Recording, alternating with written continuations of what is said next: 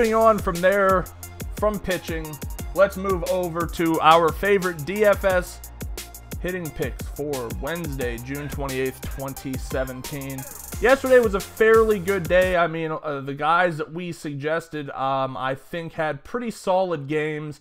Nothing over the top, um, but everything kind of went how I figured it was going to.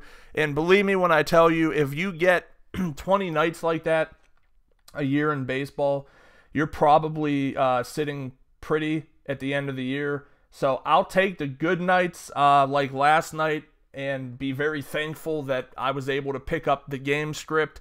Uh, I don't know why. Like I've said before, I just really like 15 game slates. I just really, uh, for whatever reason, seem things seem to click more on those days.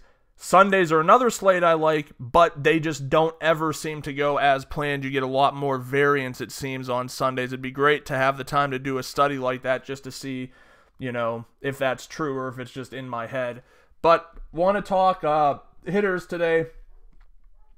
Don't have as many games, but I think we still have plenty of options to choose from. There's actually not a ton of like over the top solid options. One of the guys I have on my list uh, I'm really hesitant to throw out there, so I think I'm going to avoid him. But if you read the article, and I, I start my articles at 7:05 p.m.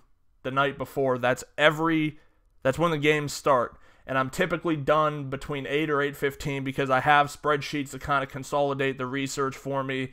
And I had Ryan Healy as one of my top infielders, and he hit a grand slam last night, so I'm a little bit uh, I've mentioned pretty much every time it happens on the podcast. It's just with home runs being so unpredictable, it's tough for me to have faith, especially with a guy like Healy who has 18 freaking home runs this year.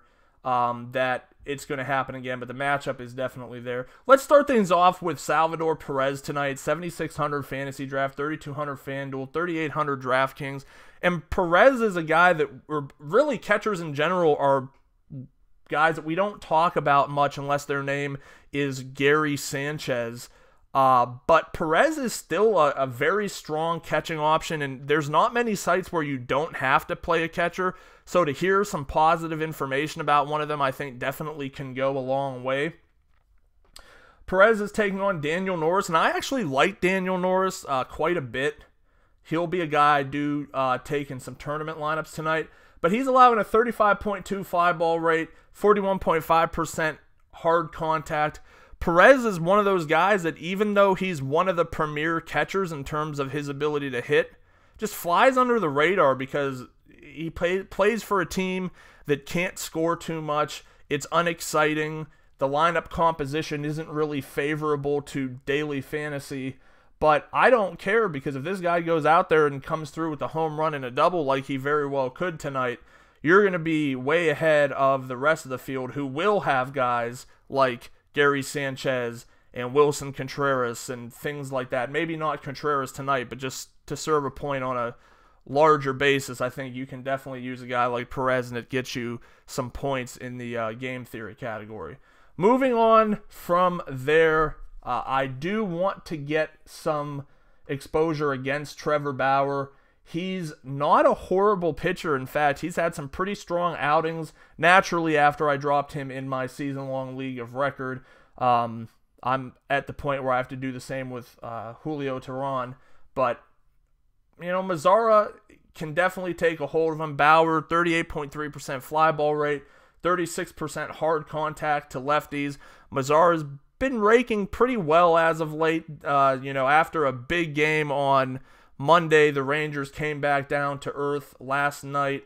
So I think that not saying we're going to see an offensive explosion today, but I think we'll see more of a leveling out there. And as the summer months kind of get a little bit warmer in Northeast Ohio, you are going to start to see more favorable hitting conditions. Being 45 minutes from Youngst- from Cleveland in Youngstown, um, I definitely can feel the stickiness coming, and I think that's when you're really going to get your best baseball. Guy I really don't like to go to uh, very often because he's another one of those guys where I just can't seem to get him right. But let's rock some Mookie Betts tonight. 9,900 fantasy draft, 3,900 FanDuel, 5K DraftKings. Again, with pitching not really being that high priced unless you're going for Strasburg or Darvish. At 3,900 on FanDuel, I would expect Betts to be a fairly popular option going up against Adalberto Mejia. And really, Mejia's stats aren't like damning. They're not like a guy who's giving up a close to 400 Woba, a 40% and a 40%. He's at 350 Woba, 35.7% fly ball rate, 36.8 hard contact. But it doesn't matter because teams are scoring against him. So I know that I came out and in the article, if not the video the other day, specifically called out the fact that things set up well for uh, you know the Red Sox against Parker Bridwell, but I have no faith that they're going to come through. And I was right. I mean, you got a, a solo dong from Leon, a solo dong from Moreland. Otherwise, Bridwell moves to three and zero. Oh.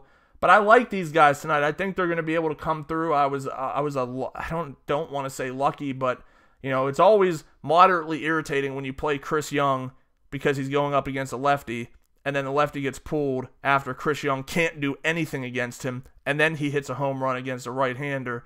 And you're just kind of like, well, what the hell? Like, I did all this research and he got his home run, but it wasn't based off any of the research I did. Nonetheless, I'll take it. He had a really good game. I could see Betts doing the same thing tonight. And like I said on FanDuel, that price isn't prohibitive whatsoever. Thanks for watching our three of our favorite tournament plays. Once again, Salvador Perez, Nomar Mazara, Mookie Betts. Thanks for watching. Make sure to subscribe to our YouTube channel below. Check us out at researchfantasy.com. Follow us on Twitter at Research and Win, and join us again tomorrow.